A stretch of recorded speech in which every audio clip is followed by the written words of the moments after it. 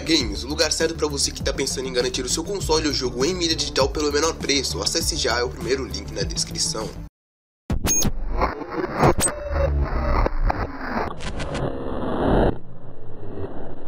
E fala molecadinha, tudo beleza? Aqui é o Simon Elba e vamos comigo para mais um vídeo, galera. No vídeo de hoje eu vou estar trazendo para vocês um vídeo falando a real situação do Campeonato Brasileiro no FIFA 18, pessoal. Eu, essa informação é pouco antiga, na verdade, né, velho? Saiu há um tempo atrás, só que eu vi que ninguém trouxe essa informação para vocês e tem ainda gente que sonha em termos os times brasileiros nesse FIFA 18 ainda. E então me perguntam constantemente, então achei que fazer um vídeo falando sobre isso seria necessário. Lembrando, antes de tudo, não esqueça de deixar aquele seu like, que está sempre me ajudando aqui na divulgação dos vídeos também me motivando a trazer cada vez mais. Por enquanto que eu não chego ao meu Playstation 4, eu vou trazer vídeos assim, falando informações e, dando, e alertando vocês sobre o cenário atual do mundo dos games. E também não esqueça de se inscrever para não perder os próximos vídeos, porque eu tô trazendo esses vídeos agora, mas quando chegar o meu PS4, eu tô com ideias muito incríveis de séries que eu tenho certeza que todos vocês vão curtir pra caramba. Então se inscreve aí embaixo e vamos nessa! Bom, galera, vamos começar a falar o que que tá acontecendo atualmente com o Brasil. Depois que eu li essa informação, eu me, mano, me declarei definitivamente que eu vou parar de defender tanto a EA Sports. Vídeos anteriores eu falei, não, galera, calma, não é culpa da EA Sports, eles simplesmente não conseguem, é, eles tentam constantemente, e os jogadores brasileiros que não querem. Mas depois que eu vi essa informação, eu vi que essa situação não é essa, pessoal. Como todos nós sabemos há um bom tempo, aqui o Brasil não funciona da mesmo jeito que funciona lá na Inglaterra, por exemplo, em que a EA vai lá, negocia com o clube inteiro e já no contrato já incluem os logos, o tudo do clube, mais os todos os jogadores, por exemplo. Aqui no Brasil não, no Brasil tem que ser diferente mesmo, né, pessoal? No Brasil, a EA tem que ir lá e negociar com todos os clubes, que a maioria dos clubes, pelo menos sem problema nenhum, aceitam aparecer no game e os próprios jogadores a maioria deles não, pessoal. A maioria dos jogadores preferem por não aparecer no jogo da EA, muitas vezes até processando eles por muito dinheiro. E muitas pessoas não entendem porque eles processam e eu vou explicar tudo aqui no vídeo de hoje. Bom, eu tô usando aqui como base um artigo que eu tô vendo na arte virtual. Então quem quiser dar uma olhada no artigo completo, eu vou estar deixando aqui na descrição. Eu vou explicar basicamente o que, que eles disseram nesse artigo. No dia 19 de setembro, a EA Sports anunciou a lista oficial de todos os clubes que estarão presentes, os clubes do Brasileirão, totalizando 18 clubes. E o que todo mundo já desconfiava, né, pessoal, é que os clubes viriam da mesma base como veio todos os anos. Essa novela que não se resolve desde o FIFA 15, né, pessoal? Os clubes viriam com jogadores totalmente genéricos.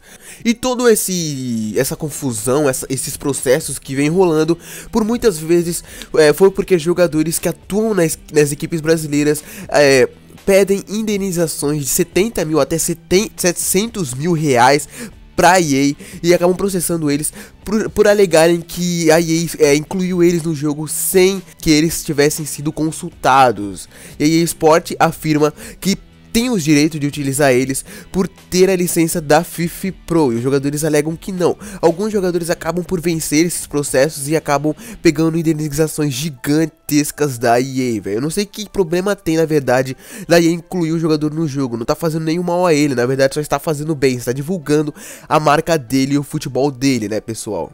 E Manuel, por que, que temos a liga então do Brasil e não temos os jogadores? Bom pessoal, porque na verdade a maioria dos clubes brasileiros, todos esses clubes que sempre já sabemos que tem, tipo São Paulo, por exemplo também o Cruzeiro, Grêmio, todos esses times que tem todo ano, é porque eles têm contrato com a EA Sports de anos e os contratos acabam em 2018, ou seja, provavelmente podemos ver que o único, o único ano que eles podem estar presentes, eles têm contrato com os clubes, não com os jogadores, por isso que vemos o FIFA com a Liga do Brasil e com os times brasileiros, só que sem jogadores nenhum.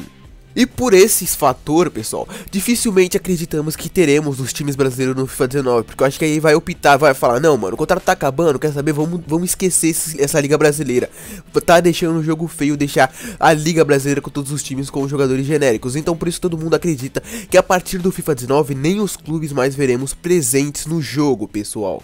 Em entrevista ao Super Esporte, dois clubes mineiros, sendo ele os dois maiores da, da, de Minas Gerais, o Cruzeiro e o Atlético Mineiro, em entrevista disseram que a EA nem sequer procurou seus jogadores, pessoal. O Atlético Mineiro é, soltou a seguinte nota: o clube somente pode negociar as propriedades de que lhe oferecem. Os, os nomes e apelidos dos atletas devem ser negociados diretamente com eles. E segundo essas duas equipes, o FIFA preferiu por não negociar com os atletas nesse ano, ou seja, a EA Sports nem foi a atrás dos jogadores para incluir eles no jogo. Ou seja, isso de não ter os jogadores brasileiros provavelmente estava definido desde o ano passado, cara. Então, mano, nem no, nos próximos FIFAs, pelo menos eu tenho esperança de termos os nossos times brasileiros completos de volta, pessoal. Porque além dos próprios jogadores não, não quererem mais, a própria EA, pelo menos aparentemente, não, não está mais correndo atrás, cara, de trazer os jogadores brasileiros para o jogo. Já a equipe do Cruzeiro, que deu seu pronunciamento oficial, disse: o Cruzeiro faz o licenciamento para que seja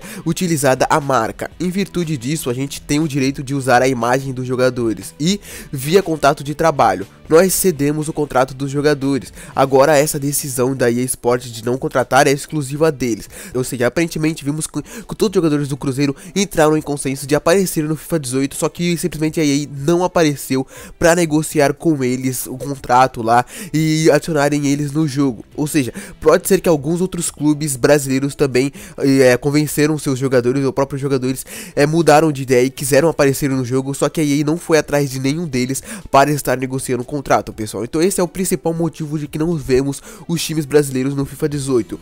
E agora eu vou falar para vocês o que para muitas pessoas pode ser o ponto alvo para vermos o quanto a EA Sports está se tornando muito mercenário com esses últimos anos. O Eric, que é atacante do Palmeiras, foi no Twitter oficial da EA e comentou que a sua vontade de estar no jogo falando: "Eu sou um homem de verdade, eu sou um jogador de futebol, eu não sou um cara genérico". E também deixando claro a sua vontade e não mostrando que é todos os jogadores que não queriam estar presentes no jogo, pessoal.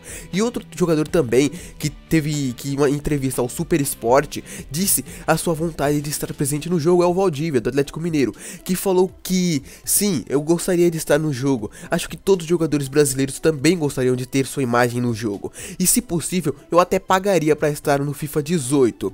E isso é uma coisa que ele falou e segundo ele, mano, isso não é problema meu, isso é problema da EA Sports, foi eles que decidiram em não me colocar. Porque segundo o próprio Valdívia, ele assinou um contrato de licença no, pro FIFA 18, ou seja, ele deu a sua imagem, ele autorizou que a EA Sports colocasse ele no jogo. Eu tenho certeza que ele não foi o único jogador a acontecer isso com ele, né, pessoal? Ele foi o único a se pronunciar, mas eu tenho certeza que muitos outros jogadores brasileiros também assinaram os contratos para ter a sua imagem divulgada no jogo, só que a EA Sports optou por não colocar ele no jogo. E eu tenho certeza que isso aconteceu também com muitos outros jogadores. Eles devem ter pensado, mano, vamos ter metade genérico, metade licenciado, então não vamos colocar ninguém no jogo, mais fácil. E eu não sei porque eles fizeram isso. Quem quiser, mano, tá falando que é mentira? Mano, vou deixar o link aqui na descrição, dá uma olhada no post deles. E realmente, é isso que o Valdivia falou é verdade porque ele falou em entrevista exclusiva, pessoal. E outro jogador que também se pronunciou oficialmente foi o zagueirão do Cruzeiro, o Murilo Cerqueira. Ele falou as seguintes palavras: Não sei por que não tem jogadores que atuam no Brasil no game. Eu gostaria de estar no game sim. Acho legal ter jogadores daqui. No PES tem.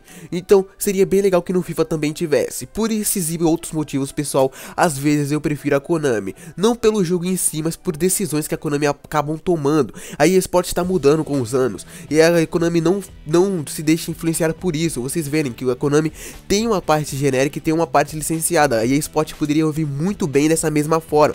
Só que eles optaram por não adicionar ninguém. Por essas e outras decisões que às vezes eu acho que a Konami é um pouco mais sincera com nós jogadores. Porque nos própria, a própria antiga geração, vocês viram que esse ano foi um descaso total da EA. Simplesmente eles nem soltaram a demo. E o trabalho que a Konami fez com a antiga geração foi incrível, pessoal. Eu não tô aqui para metralhar a Konami, mas para mostrar a verdade para vocês vocês. E, mano, se vocês perguntarem a minha opinião é, pessoal, nos próximos anos não veremos é, nem sequer os times brasileiros licenciados no jogo, é, provavelmente. O que eu acredito é que aí só irá negociar esses contratos de é, renovação com os times brasileiros para incluir eles no jogo, se vierem com os jogadores também, ou seja, se eles, eles vão, acho que eles vão perguntar, como é que vai ser? Os seus jogadores estão em acordo ou não estão de acordo de aparecer no meu game? Se não estiverem, abraço, tchau. E eu acredito também que aí não vai querer é, colocar um clube sim e outro não. Então por isso que eu acredito que nos próximos FIFAs nem sequer veremos os nossos logos e a nossa liga brasileira exclusiva no jogo. Então pessoal, é isso que eu tinha pra falar pra vocês.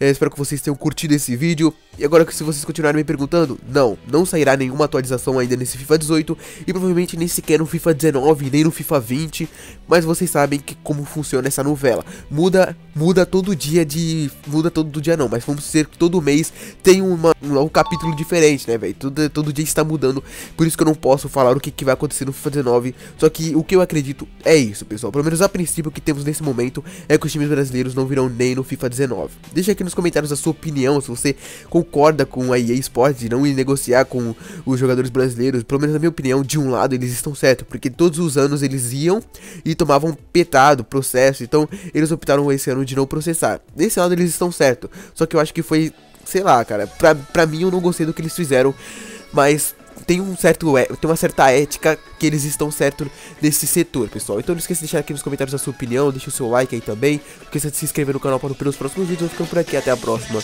e falou!